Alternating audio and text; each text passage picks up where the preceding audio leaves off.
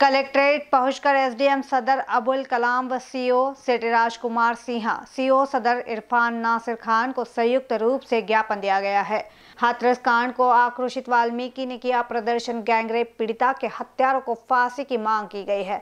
बसपा नेता जहीर अहमद ने मनीषा के दोषियों के लिए सरकार से फांसी की मांग की। ज्ञापन देने में बसपा नेता समेत पूरी वाल्मीकि समाज मौजूद था। कोतवाली नगर इंस्पेक्टर अशोक कुमार सहित बड़ी संख्या में पुलिस फोर्स मौजूद रहा। इन लोगों ने जो है दोषियों के फांसी दिए जाने की और पीड़िता के परिवार की आर्थिक सहायता दिए जाने की मांग की ये महामहिम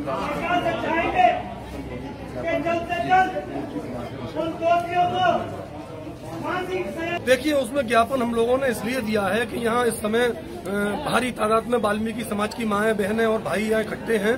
जो बाल्मीकि समाज की महिला थी, बेटी थी, वो बाल्मीकि समाज की नहीं थी, बल्कि वो हिंदुस्तान की बेटी थी, वो सभी की बेटी थी। इस तरीके से, उसके साथ जो बदतमीजी हुई जिस तरीके से उसकी निर्मम हत्या कर दी गई बलात्कार करने के बाद हम लोग यहाँ पर इकट्ठे हुए हैं और ये मांग करते हैं कि जो भी उसके हत्यारे हैं उनको फांसी की सजा मिलनी चाहिए और हम लोगों को न्याय मिलना चाहिए। जिस तरीके से वहाँ के डीएम ने जो कहा है कि रेप की पुष्टि नहीं हुई उस पर क्या कहना चाहे?